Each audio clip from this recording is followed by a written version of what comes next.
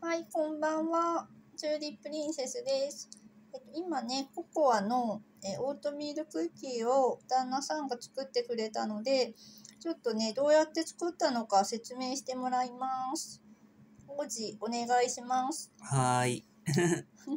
えっと、まず、うんえっと、オリーブオイルの代わりにうんココナッツオイルの、うん。を大さじ1ですね。あと、メープルシロップ大さじ2です。うん。うん。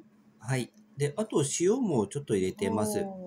で、オートミール 30g です。うんあと、米粉ですね。米粉 30g。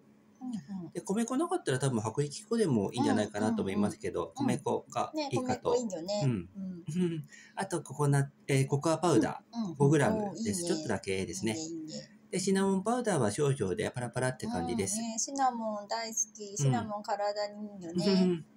んうん。あとは、ベーキングパウダーが 2g うんなので、ちょっとでいいです。うんこんな感じで、あとは、オーブンで、えっ、と、だいたい、うん、僕は200、200度で17分ぐらい焼きました。うんまあ、けど、まあ、15分から20分の間って書いてあったので、うんそれぐらいでいいかなと思いうんます。